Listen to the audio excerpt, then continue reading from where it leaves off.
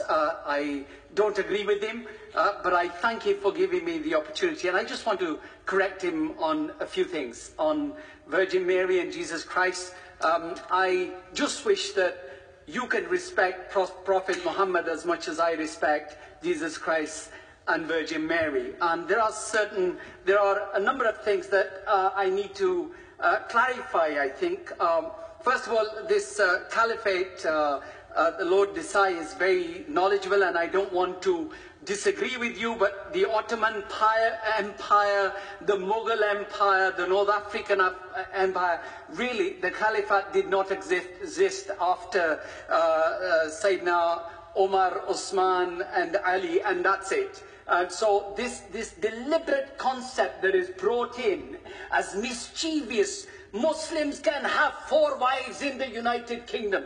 Nonsense. British law is the superior uh, law in this country. Nobody is allowed to have four wives. And really, you know, using this language that Muslims are breeding more children and they will take over. This is the same language that Nazis used against the Jewish communities before Second World War. Deliberately done when there is uh, uh, hatred against uh, the Muslim uh, in terms of the birth rate. So um, even uh, killing somebody who leaves their religion uh, in this country, nobody can do anything above law. I'm a Muslim. I'm British. My law is the British law, which is for everyone.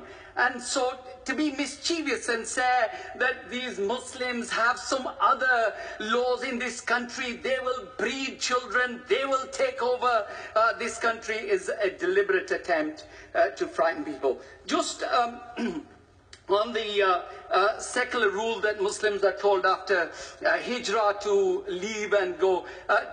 To be frank, uh, I hosted uh, Christian communities from uh, uh, Ethiopia last night here because of the human rights situation there. Abyssinia was a place where the Prophet Muhammad, peace be upon him, asked his companions to go and live under a Christian ruler because he allowed them to live in peace, just as the majority, 20, 30 million of us who are living uh, here in the United Kingdom, in Europe, and in the United States. And I know, I know that uh, if you look at some of the figures, in, in, in America, Internal Revenue Services have quoted saying $200 million uh, uh, spent by Islamoph Islamophobia industry uh, last year. Most are designated as hate, uh, hate crime groups by Southern Poverty Law Center in the United States. Um, so I think uh, we need to put things into context. Um, I don't have to preach anyone uh, what the Holy Bible, which I respect, uh, the books of Exodus, uh, Deuteronomy, Joshua, and both books of Kings talk about slaughter, genocide. And if these, these fanatics, whether they're ISIS or Daesh, if they then picked up the Bible and said, this is why they invaded Iraq and this is why they killed Muslims because this is the uh, teaching of the Bible. It's complete nonsense. Because for me, the religions, whether it is the Hindu religion, the Sikh, the Buddhist religion, the Buddhist religion, one of the most peaceful religions on earth, you see what's happening in Burma, in Myanmar, to Rohingya communities. It's the individuals who abuse the text, whether it is uh, Muslims, Jewish, Christian, whichever religion, who abuse it for their own violent and political purposes.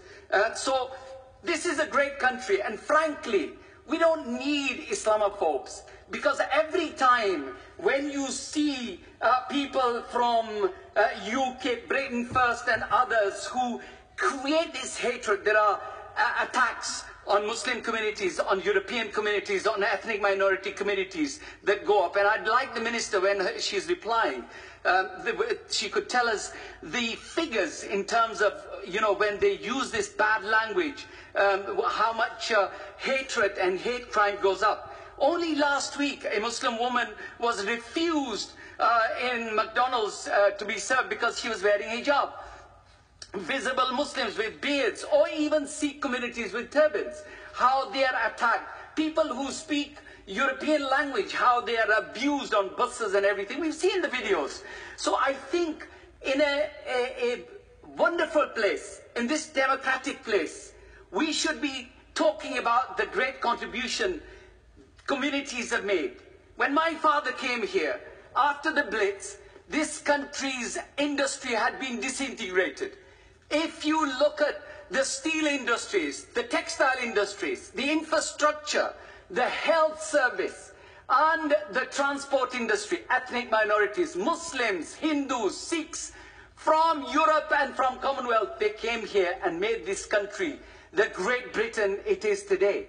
And during the Labour government, we had the third largest economy. Proudly, I used to go around the world telling people. And today, even fifth largest economy in the world is Britain, and all of us together, we have done. Yes, we have criminals, but if we start pointing finger at all the Muslims first, then maybe the Jewish community is after, and then maybe the Sikh community is after that. And then we might say, well, all these colored people or people with color or different people that don't look like us, don't have the green eyes like us. They are the ones who are responsible for our social deprivation, unemployment, and, and the economic crisis that we have. Then that's the, what the Nazis did. That's what Hitler's people did. My lords, I just hope that we come to our senses and talk about the great contribution. This country, this is a great country. Muslims, non-Muslims, all of us stand together.